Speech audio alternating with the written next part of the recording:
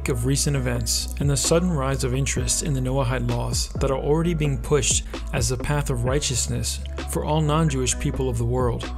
We're already seeing the knee jerk reaction of some of YouTube's favorite anti Torah teachers as they stumble over each other to make the claim that the Noahide laws are the friend of Torah keepers, and vice versa. But I can't help and assume that these statements are based on a complete and total lack of any measure of research, since it only takes a little digging to find that the Noahide laws make keeping Torah illegal and punishable by death for anyone other than Orthodox Jews themselves, who call what they keep quote unquote Torah as well, but would be more accurately described as Mishnah Torah with a splash of Talmud and a whole barrel of rabbinical commentary. But let's not get too far off topic. Today, instead of discussing what these laws consist of in depth one by one, I want to just quickly demonstrate that this push for Noahide laws by the powers that be is actually a power play against true, unadulterated Torah study and practice, and that the mainstream Christian church outlets are already helping to lay the foundation of the Torahless deception that was prophesied long ago. You see, many are already familiar with the sudden rise of popularity in the seven Noahide laws, and how there's a genuine potential for them to be forced on the world by the powers that be. These seven laws, according to the Talmud, are for all the children of Noah and are the only standard of righteousness for Gentiles across the world. According to Jewish tradition, non Jews who adhere to these laws are said to be followers of Noahidism and regarded as righteous Gentiles who are assured a place in Olam Haba, or the world to come. These laws include the following not to worship idols, not to curse God or blaspheme his name, to establish courts of justice, not to commit murder, not to commit adultery or sexual immorality, not to steal, and not to eat flesh torn from a living animal. According to the Sanhedrin document 57a, a heathen is executed for the violation of four precepts, and these include blasphemy, adultery, idolatry, and bloodshed. And this being the case, many have already begun to see the dangers of allowing these supposed religious authorities to determine what constitutes violation of blasphemy and idolatry, since these same authorities believe that the Gentiles or heathen must not use the name of Yahweh, nor can they use an intermediary to approach the Father, such as our Messiah, Yeshua. To make matters worse, according to their writings, only one male witness is required to condemn heathen Gentiles to the death sentence, instead of the two or three that are required under the Torah. Why the different standard for Jews and so called heathen Gentiles, you might ask? That takes us to the exact point of this video. You see, some are very, very confused even believing that somehow Torah observant believers in Messiah, those who honor Yah's biblical instructions for living, will adopt and promote these Talmudic Noahide laws. Those who make these statements, apparently, haven't researched enough to realize that under the Noahide laws, it is illegal and punishable by death for a non Jew to keep Torah. That's right. The Noahide laws do not allow so called Gentiles to practice Torah, like at all. They believe that Torah is forbidden for non Orthodox Jews to participate in, and that also violation should be punishable by death. That's right. If you're not an Orthodox Jew and don't swear in and train in their version of Torah, which actually includes oral additions and Talmud, you know, the stuff that Yeshua warned us about and constantly rebuked him for. You are not allowed to keep Sabbath, keep the feasts, or do anything that only belongs to the quote unquote Jews only. Quote, Gentiles, as they call anyone not within their Jewish faith, are only allowed to practice the Noahide laws and should be punished by death if they attempt to practice Torah on their own. Ironically, the mainstream Christian church is actually promoting this idea as well, in more ways than we can count. We'll demonstrate that in a moment, but first, let's take a look at how the Sanhedrin feel about non Jews keeping Torah. According to Jewish teaching, war comes to the world through the delay of justice, the perversion of justice, and the teaching of Torah not in accordance with Jewish law. Simply put, if you want to practice Torah, you must become an Orthodox Jew and do it their way. And I quote When both Jews and non Jews can learn Torah without distortion of its halakhic Jewish legal meaning, true peace becomes possible. This includes recognition of the principle that Jews can be judged only according to Torah law, no matter where in the world, and that non Jews in the land of Israel are considered according to the seven Noahide laws by the Jews there, with no sovereign jurisdiction of their own. In keeping with these Jewish ideas, the quote, Gentiles cannot keep the Sabbath or study Torah at all, or they are obligated to die. According to Melachim uMilchamot chapter 9, a Gentile who studies a Torah is obligated to die. They should only be involved in the study of their seven mitzvot, or the seven Noahide laws. Similarly, a Gentile who rests, even on a weekday, observing that day as a Sabbath, is obligated to die.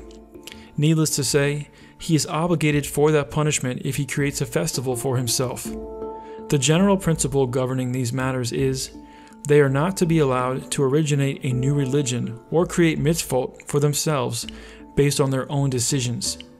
They may either become righteous converts and accept all the mitzvot, or retain their status without adding or subtracting from them. Simply put, if you read the Torah, practice Sabbath, or attempt to keep any of the feasts without fully converting to Judaism, and keeping them according to their Talmudic and oral additions, you must be killed. And no, this is not some outdated, out of context writings that the modern Jewish people no longer worry about. A simple online search through forums quickly demonstrates that they still actually believe this, such as this forum on Judaism Stack Exchange. Here are some of the answers to the questions of Can a Gentile keep Sabbath? according to the answers of modern Jewish teachers. Resh Lakish also said, A heathen who keeps a day of rest deserves death, for it is written, and a day and a night they shall not rest. And a master has said, Their prohibition is their death sentence. Rabina said, Even if he rested on a Monday. Quote, the Sabbath was given as a sign and covenant to Israel. A Gentile is forbidden to observe the Sabbath or to make Sabbath of their own, a halakha codified in the Mishnah Torah. Quote, a non Jew is not allowed to keep Shabbos. Those that are in the process of converting, make sure to do at least one thing on Shabbos that would normally not be allowed. For example, they might carry something in their pocket. You see, according to them, the quote, Gentiles may only adhere to the seven Noahide laws for quote, righteousness. To be considered Jewish and therefore capable of performing their Torah one must accept all the rabbinical teachings, the Talmud, the Mishnah, and the distorted Jewish understanding of Torah, followed by a baptism into their faith and culture. If you convert, there's no going back either. Interestingly, it was our Messiah Yahusha who said that the Pharisees were adding to the Torah, and thus nullifying the laws of Yah in order to keep their own traditions. In Matthew 15, verse 8 through 9, our Messiah said, this people draweth nigh unto me with their mouth, and honoureth me with their lips, but their heart is far from me. But in vain do they worship me, teaching for doctrines the commandments of men. Also, in Mark chapter 7 verse 9 through 13, Yahusha said, Full well ye reject the commandment of Yah, that ye may keep your own tradition. For Moses said, Honor thy father and thy mother, and Whoso curses father and mother, let him die the death. But you say, If a man shall say to his father or mother, It is Corban, that is to say, a gift, by whatsoever thou mightest be profited by me, he shall be free. And ye suffer him no more to do aught for his father or his mother, making the word of Yah of none effect through your tradition, which ye have delivered, and many such like things do ye. As usual, our Messiah was right, and still is. These doctrines of men have nullified the commandments given by Moses. In this specific case of Shabbat, for example, the law says in Exodus 20, verse 8 through 10, Remember the day of Shabbat, to keep it holy. Six days shall you labor and do all your work, but the seventh day is a Shabbat unto Yahweh Elohika. In it you shall not do any work, you, nor your son, nor your daughter, nor your manservant, nor your maidservant, nor your cattle, nor the stranger that is within your gates. In Numbers chapter 15, verses 15 through 16 says, One ordinance shall be both for you of the congregation and also for the stranger that sojourneth with you, an ordinance forever in your generations. As ye are, so shall the stranger be before the Lord. One law and one manner shall be for you and for the stranger that sojourneth with you. And this is just one of perhaps hundreds, even thousands of examples of how man made doctrines have nullified the laws of Yah given by Moshe to all of Israel, not just the tribe of Judah. And we already know that the ten northern tribes of Israel have been scattered to the four corners of the earth in order to be a light to the Gentiles.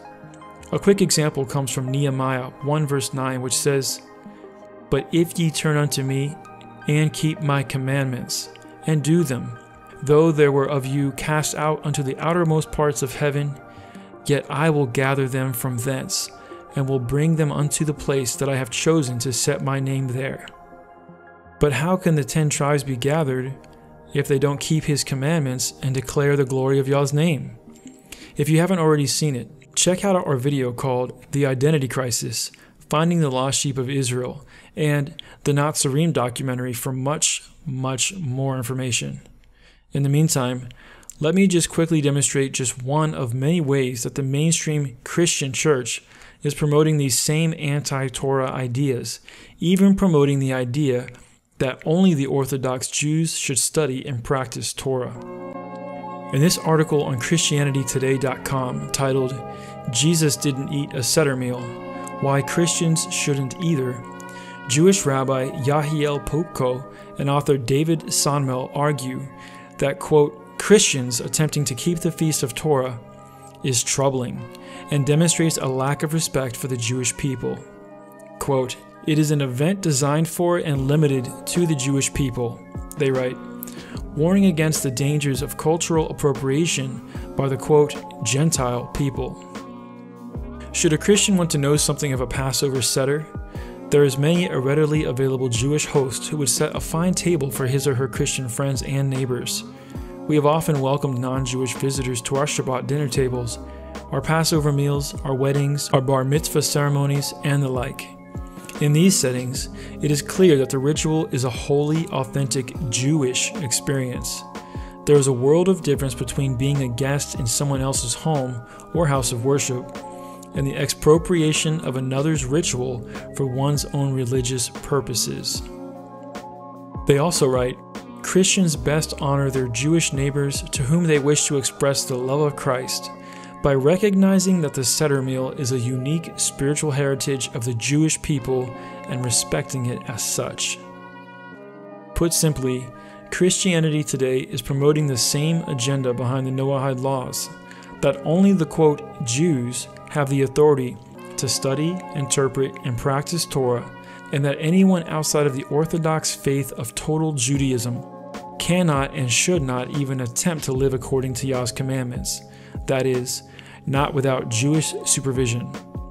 Again, no mention of the ten tribes, no mention of Israel, no mention of the prophecies about our return, nothing.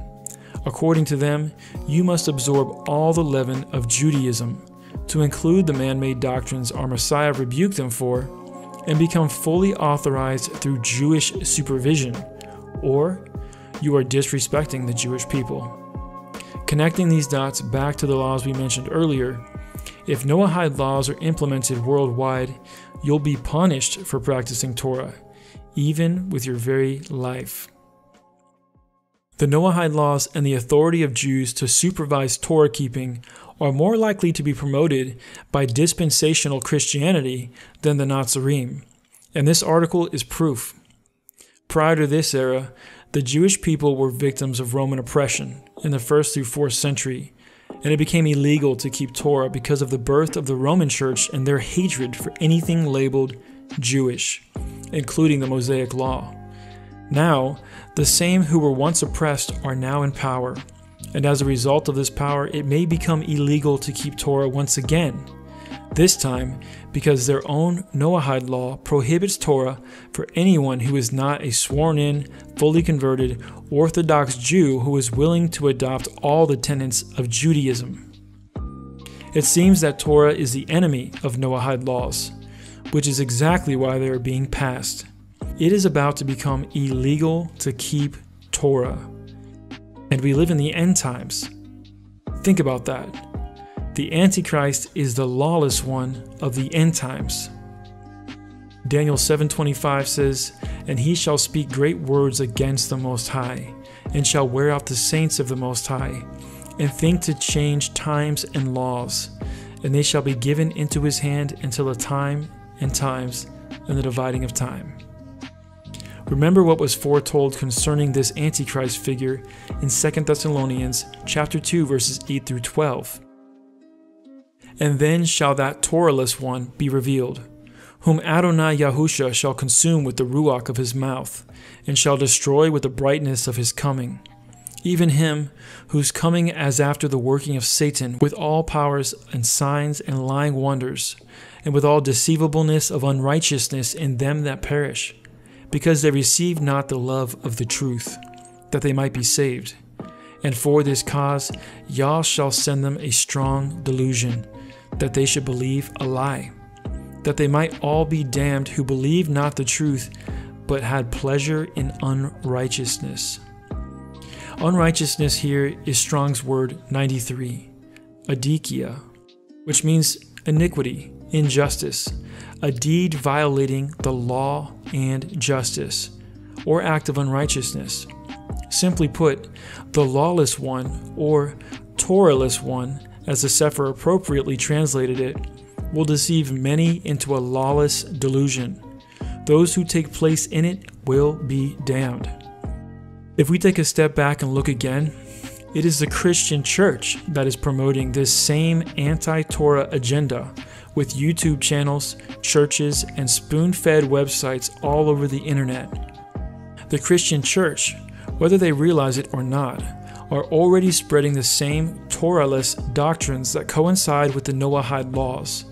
Essentially, both quote Christians and quote Jews, whether they realize it or not, are already working together to remove the doctrines of Yah's perfect holy, and good instructions for the end times generation.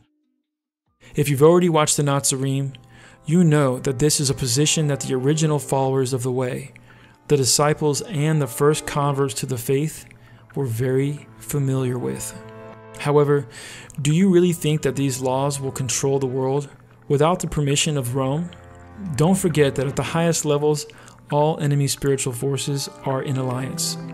The legality of Torah is once again being threatened.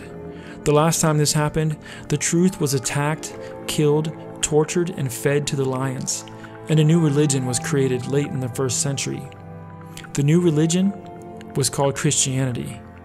The Torah removed, the Sabbath changed, and the true names of the Father and Son hidden. The rest is history. Now, after seeing that even just a little digging, even the most basic research into how the Noahide laws are the enemy of the true Torah and are perhaps even designed to bring about the lawlessness of the end times. It should be clear that those channels who might tell you that the Noahide laws are somehow a Hebrew roots deception are either lacking intellectual honesty, have a personal agenda, or at the very least formulate opinions far too quickly with too little research. So, that being the case, perhaps you should ask yourself this single question. Can I really trust the research on the rest of the topics these channels discuss? Something to consider. Until next time, I'm Justin with Christian Truthers. Shalom.